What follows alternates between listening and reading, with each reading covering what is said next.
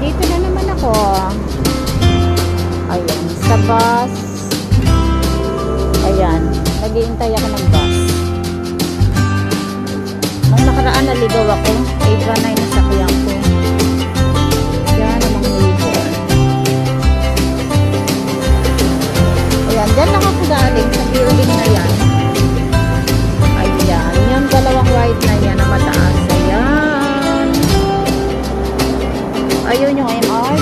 Ako pupunta. Kay Nanay Flora yun, yung building na yan. Doon ako susuba. Ayan, pasakay. Free bus. Ayan, sasakay na ako. Free bus daw. Para hindi ako maligaw. Free bus.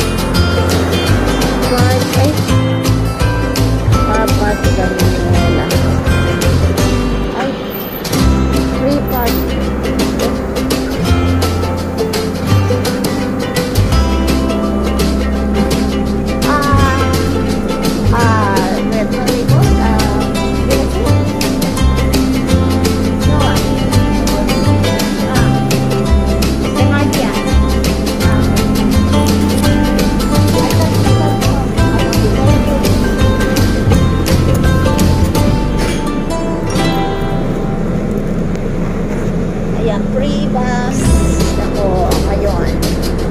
Mabuti hindi ako naligaw.